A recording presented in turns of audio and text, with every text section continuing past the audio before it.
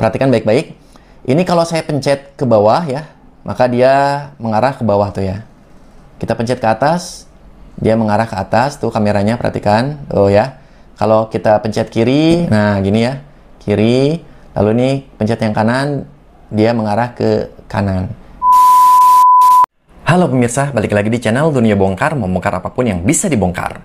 Dan produk yang akan kita bongkar pada kesempatan kali ini adalah ini pemirsa. Ini adalah sebuah CCTV keren dari EasyViz. Dan ini tipenya itu adalah EZ360. Ini gambar produknya nanti ya. Jadi dia bisa memutar, bisa ke atas atau ke kiri dan kanan. Mantap. Sekarang kita lihat fiturnya apa aja ya. Di bagian sini kita bisa lihat, yang pertama itu ada panoramic pan and tilt. Jadi dia bisa mode panorama atas, bawah, kiri, dan kanan sampai 360 derajat. Wow, keren sekali. Kemudian fitur utama lagi nih yang ada pada produk ini nih, yaitu motion tracking.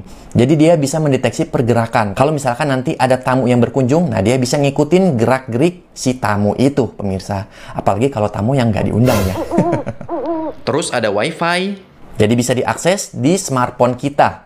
Walaupun kamera ini lagi ada di rumah, sedangkan kita lagi berada di luar rumah atau jauh dari rumah, kita bisa mengaksesnya dan kita bisa memonitor langsung dari smartphone kita. Uh, mantap! Dan satu lagi, di sini ada two-way audio, artinya audio dua arah. Jadi selain dia bisa mendengarkan suara yang ada di sekitar, dan dia juga bisa mengeluarkan suara. Mantap sekali. Kemudian yang lainnya ada privacy mode, lalu ada night vision, dan yang lainnya yang mungkin semua produk CCTV itu ada ya. Kalau gitu, sekarang kita langsung bongkar aja produknya, kayak gimana bentuknya, kualitasnya, dan nanti kita cobain gimana cara dia mengaktifkan motion trackingnya. Oke. Jeng jeng jeng. Widih, mantap sekali ya. Ini adalah produknya pemirsa. Sit, widih ya. Bentuknya gini ya. Jadi kayak robot masa kini gitu ya, robot modern gitu. ini bisa memutar 360 derajat ya. Jadi bisa ke atas ke bawah gini nih nanti ya. Kemudian bisa ke kiri dan ke kanan. Tilting dan panningnya itu dapat. Oke, sebelum nanti kita coba review produknya kayak gimana bagusnya, kita sekarang lihat dulu isi dalam boxnya ada apa aja. Oke. Tidak ada apa-apa lagi. Kita sampingin. Dan sekarang kita lihat ini ada apa ya. Yang pertama itu adalah kartu garansi satu tahun ya tuh. Kemudian di sini ada quick start guide. Jadi semacam kayak manual booknya ya. Dan ini yang rata-rata orang nggak pernah baca. Dan di sini ada box. Ini isinya apa aja? Kita coba lihat. Yang pertama itu kita dapat chargernya nih ya. Tuh kayak gini dia mirip-mirip kayak charger HP pada umumnya ya. HP Android kayak gini nih. Kemudian yang kedua itu ada apa ini stiker ya. Stiker ada tandanya front gitu ya di depan. Kemudian ada apa lagi? Ini ada oh baut-bautnya ya. Tuh, jadi nanti dia bisa dipasang. Ininya mana? Oh, ini nih. Ini adalah bracketnya nih ya. Jadi bautnya nanti pasang di sini. Kemudian ininya coba kita copot dulu apakah ada. Nah. Oke. Okay. Nah, ini ada ya. Jadi bisa dipasang di sini kayak gini. Sret. Tuh, jadi nanti kita bisa pasang di tembok ya atau di ya mana pun lah yang kita inginkan gitu ya. Jadi ini dipasang dulu nanti pakai baut yang tadi. Kemudian ini tinggal diputer begini aja. Oke, mantap. Kemudian yang selanjutnya di sininya ya, jadi ini bagian atas udah kosong tuh ya. Ini bagian yang bawah. Dan ada kabel USB-nya. Ini kalau nggak salah panjangnya itu sampai 3 meteran nih, pemirsa. Mantap ya. Kayak gini doang nih. Dia pakai micro USB ya. Jadi belum Type-C ya, pemirsa ya. Oke, nanti kita cobain. Ini udah nggak ada apa-apa lagi, kosong, kita singkirin lagi. Nah, untuk menyalakannya kayak gimana? Nah, nyalainnya gampang banget ya, pemirsa. Jadi kita tinggal colokin ininya, USB-nya ke sini ya. Nah ini ada bolongnya nih. Kita colok gini, set. Nah begini ya. Kemudian yang ininya, yang ujungnya ya, kita colok ke chargernya begini. Dan ini kita colok lagi ke colokan listrik atau terminal kabel. Oke. Ya pemirsa, ini saya udah colok colokannya ke listrik ya. Dan di sini udah nyala lampunya ya. Ini dia udah hidup berarti. Nah, cuman di sini lampunya masih berwarna merah yang menandakan dia belum siap untuk digunakan pemirsa. Jadi kita tunggu dulu sampai warnanya itu atau lampunya itu berwarna biru kelap-kelip yang menandakan bahwa dia udah siap digunakan. Nah, sementara kita nunggu ini lampunya sampai biru dulu ya, kita coba install dulu aplikasinya di smartphone kita.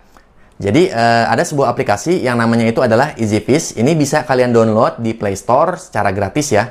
Jadi kita harus install dulu supaya bisa terkoneksi dengan CCTV-nya. Dan kebetulan di sini saya udah install aplikasinya, jadi e, tinggal dijalankan aja. Dan ini tampilan awal dari aplikasinya. Biasanya kalau kalian baru pertama kali pakai aplikasinya, dia mengarah ke pembuatan akun terlebih dahulu.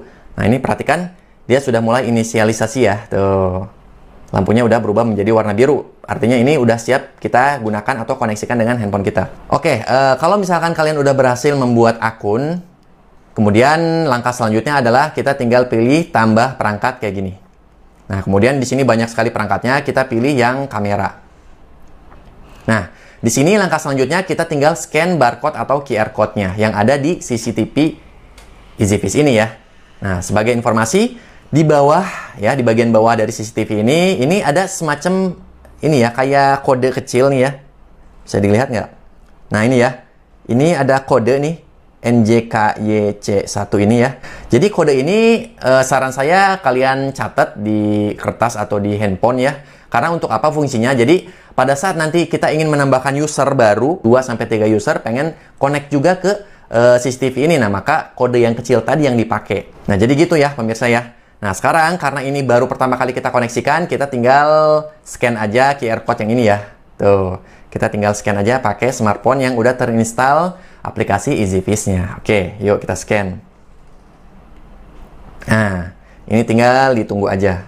Dan dia udah langsung terdeteksi ya, pemirsa. Tuh, perangkat dinyalakan. Checklist perangkat dinyalakan, lalu klik selanjutnya. Tinggal di next-next aja kayak gini. Buka izin lokasi, tinggal diizinkan aja. Kemudian pilih indikator berkedip biru ya, karena ini memang sudah biru ya. Tuh, jadi kita checklist aja. Lalu klik selanjutnya. Dan di sini ini jaringan yang dipakai ya, jaringan WiFi yang saya pakai di rumah ini ya. Ya, ini udah saya isi passwordnya. Kemudian klik selanjutnya.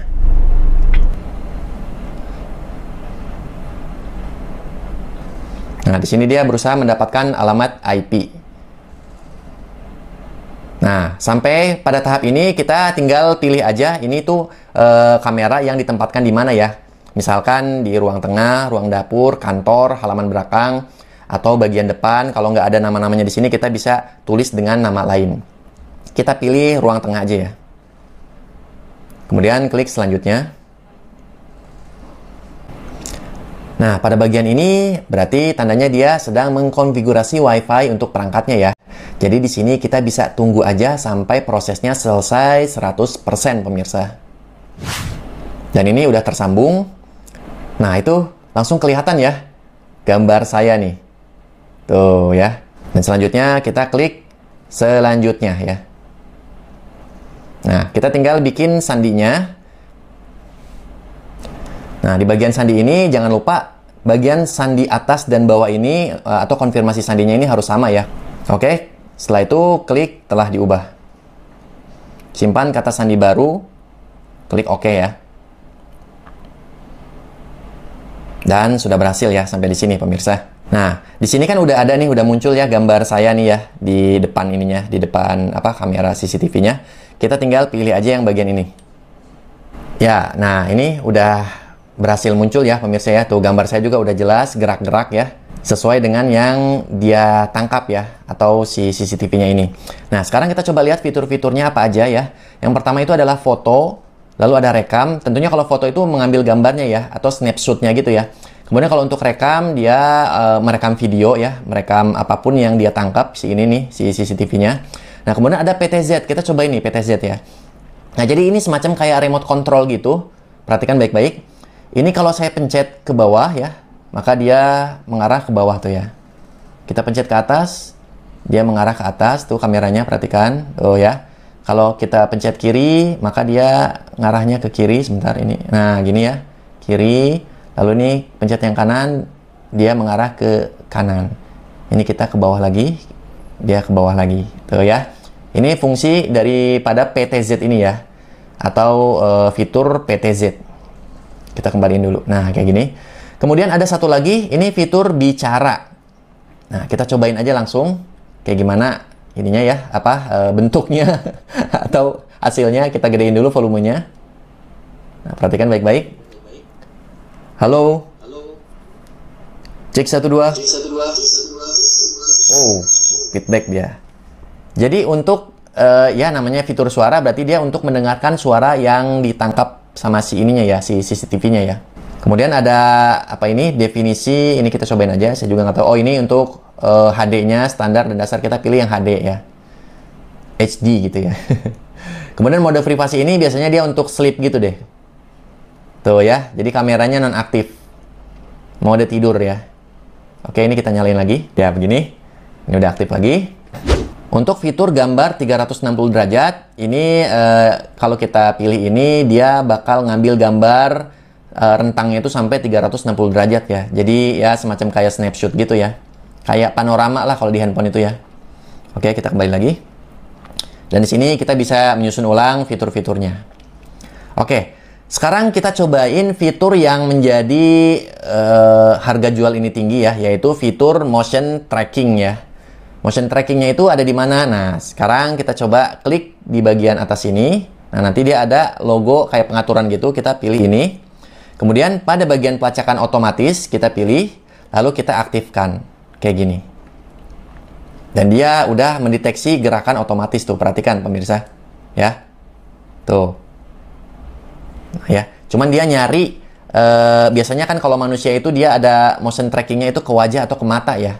Jadi dia harus mendeteksi mata dulu ya. Kita cobain aja ya. Ini ini saya dia udah tracking wajah saya nih ya. Saya gerak ke kiri, saya gerak ke kanan tuh dia ngikutin saya ya. Tuh, tuh. Dia ngikut ya. tuh, keren sekali ini. Mantap ya, tuh. Dia otomatis gerak sendiri ya. Ini saya nggak nggak nggak PTZ ya. Maksudnya nggak pakai fitur PTZ. Ini saya nggak uh, apa aktifkan fitur PTZ remote control tapi saya cuma ngegerakin muka saya aja gini. Tuh dia ngikut ngikut muka saya ya. Keren sekali ini. Mantap ya. Kiri? Iya. Oke, kanan? Iya. Keren sekali ini. Oke pemirsa, jadi gitu aja ya bongkar produk kita kali ini. Sekali lagi, ini adalah CCTV dari EasyPiece dan versinya itu adalah EZ360. Ini produknya Tadi kita juga udah sama-sama coba gimana fitur-fitur canggihnya, terutama fitur yang terakhir yang bikin saya terkesan banget yaitu fitur motion tracking. Ini keren sekali. Oke, saya cukupin sampai di sini videonya. Sampai ketemu lagi di video bongkar produk selanjutnya masih dengan Dika di channel Dunia Bongkar. Bye bye.